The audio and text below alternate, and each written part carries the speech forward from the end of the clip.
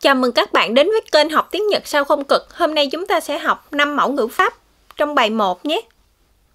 1. Sai ni sai wa. Ý nghĩa khi, nhân dịp, lúc. Động từ chia ở thể từ điển hoặc thể ta cộng với sai ni hoặc sai wa. Danh từ sẽ cộng nô cộng sai ni hoặc sai wa. Là cách nói khuôn phép trang trọng hơn so với toki Ít dùng trong đàm thoại hàng ngày như là khi nói chuyện với bạn bè, gia đình. Sau sai wa thường sẽ xuất hiện kudasai được dùng nhiều trong những trường hợp có tính công cộng, ví dụ như thông báo trong tàu, xe, nhà ga, sân bay hoặc sử dụng khi giao tiếp với khách hàng. 例文クレジットカードを紛失した際はサポートセンターまでご連絡ください Khi mất thẻ tín dụng, xin vui lòng liên lạc với trung tâm hỗ trợ khách hàng.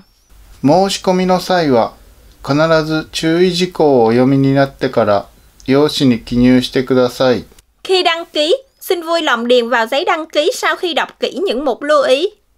お降りの際は足元にご注意ください Khi xuống xe, xin hãy chú ý bước chân. 免許を更新する際写真が必要です Khi gia hạn bằng lái, cần hình thẻ. 商品を返品する際はレシートの提示をお願いします Khi trả hàng, vui lòng cho xem hóa đơn. 物を拾おうとした際に腰を痛めた Lúc định nhặt đồ, lưng em bị đau. 東京に行く際大学の友達に会うつもりだ Nhân dịp đi Tokyo, em định sẽ gặp bạn thời đại học. 今晩は雨の予報ですので 外出の際は傘をお持ちください Tối nay dự báo là trời mưa nên khi đi ra ngoài hãy đem dù theo. 給与に関しては面接の際にお話ししたいと思います Liên quan đến tiền lương thì em sẽ nói khi phỏng vấn. 2何々に際して何々にあたって Ý nghĩa trước khi bắt đầu làm A, khi đang làm A hoặc khi làm A. Cách nói trang trọng của A にあたって là A に当たりまして A に当たり động từ sẽ chia thể từ điển, danh từ.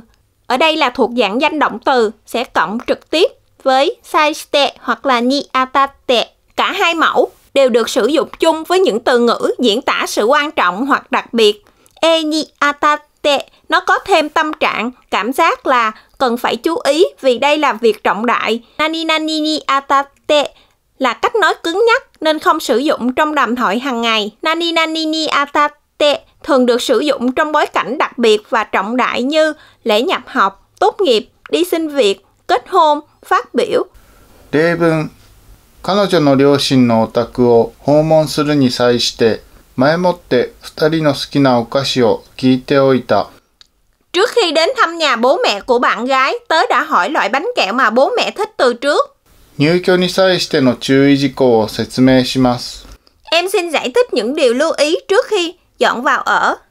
面接に際してしっかりと練習しておいた方がいいですよ Trước khi phỏng vấn, em nên luyện tập chỉnh chu nhé. 入国に際して税関で荷物の検査を受けた Lúc nhập cảnh, em đã kiểm tra hành lý tại hải quan. 遺産の相続に際して大きな税金がかかります Khi thừa kế tài sản sẽ mất một khoản thuế lớn. このアプリのご利用に際して事前にお客様の情報を登録する必要があります Khi sử dụng app này, phải đăng ký thông tin của quý khách trước. 結婚するにあたり2人の将来のプランをしっかり話し合った Trước khi kết hôn, chúng tôi đã nói rõ ràng với nhau về kế hoạch tương lai của hai đứa. 会場を決めるにあたり 参加できる人数をもう一度確認してください Trước khi quyết định hội trường, hãy xác nhận lại lần nữa số người có thể tham gia. イベントを行うにあたって一言挨拶をさせていただきます Trước khi tiến hành sự kiện, tôi xin có đôi lời chào hỏi. 卒業にあたり皆さんに送りたい言葉があります Thầy có vài lời muốn gửi đến các em khi các em tốt nghiệp. 自分の店を開くにあたって 2人の先輩に相談することにしました Trước khi mở tiệm của riêng mình, anh đã quyết định sẽ thảo luận với hai vị tiền bối.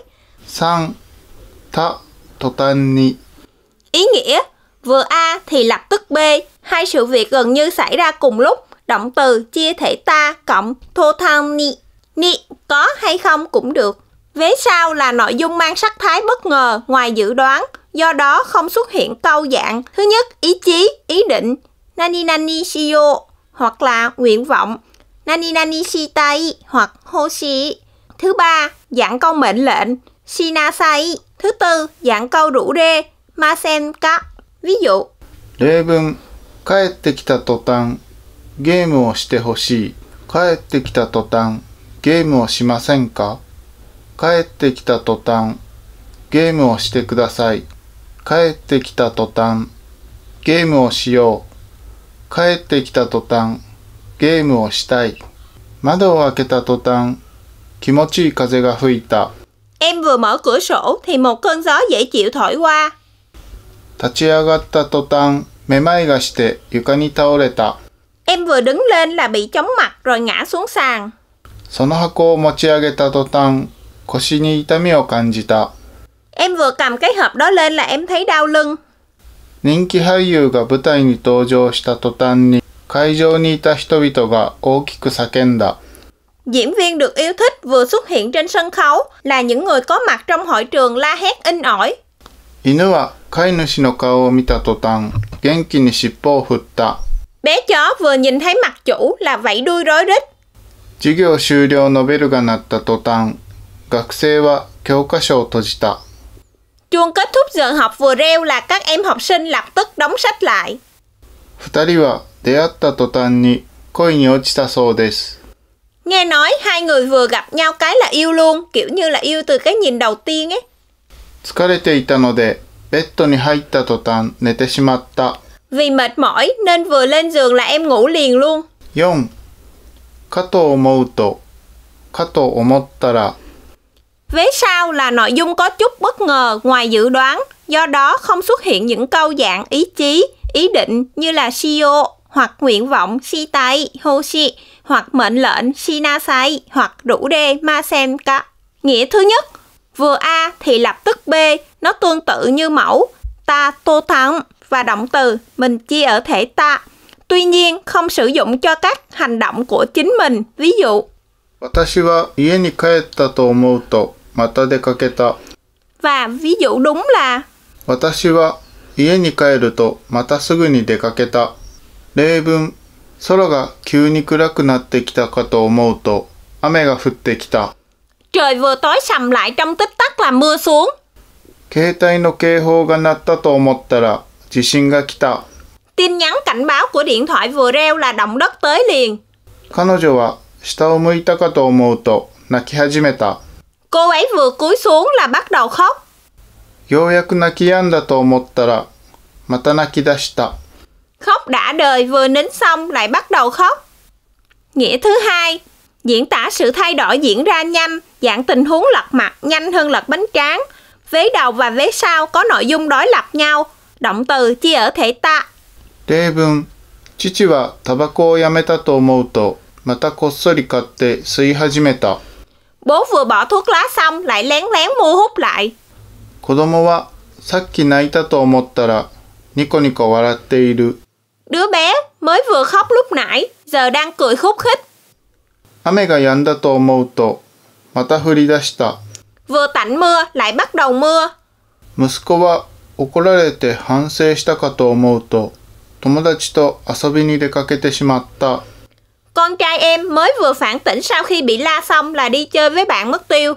Nghĩa thứ ba, khi nghĩ đến A thì B, B sẽ xuất hiện những từ ngữ thể hiện cảm xúc, động từ chia ở thể ngắn, có thể cộng thêm no hoặc không có cũng được và cộng kato omo to danh từ cộng thêm na no và cộng với katoomotara hoặc to omo toomoto Tanaka sensei no jugyo wa kyou de saigo nano ka to omou to 寂しくて泣きそうになる Khi nghĩ đến giờ học của thầy Tanaka hôm nay là buổi cuối, em buồn sắp rớt nước mắt.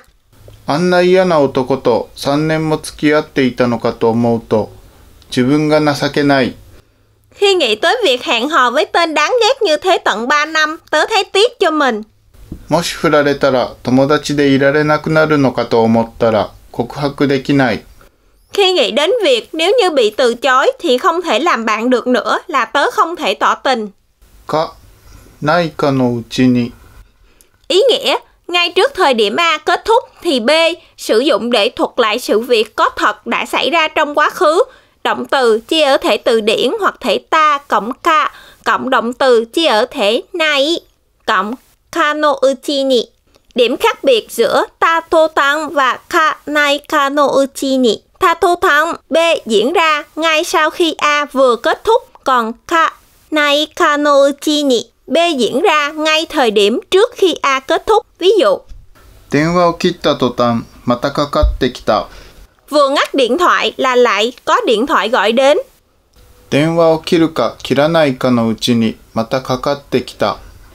例文、映画が終わるか終わらないかのうちに観客は席を立ち始めた。 Khán giả đã bắt đầu đứng lên trong khi phim còn chưa kết thúc. 駅に着くか着かないかのうちに乗客は降りる準備を始めた。 Trong khi tàu còn chưa đến ga thì hành khách đã bắt đầu chuẩn bị xuống. 今朝から出張の夫は夜が明けるか明けないかのうちに家を出て行った。 Có chuyến công tác nên từ sáng sớm chồng em đã ra khỏi nhà trong khi trời còn chưa sáng. Vậy là chúng ta đã học xong, giờ mình cùng ôn lại năm mẫu ngữ pháp trong bài 1 nhé. 1. Sai ni, sai wa. Ý nghĩa khi, nhân dịp, lúc. Ni, sai shite, ni, atatte. Ý nghĩa trước khi bắt đầu làm A, khi đang làm A hoặc là khi làm A. 3. Ta, totan ni.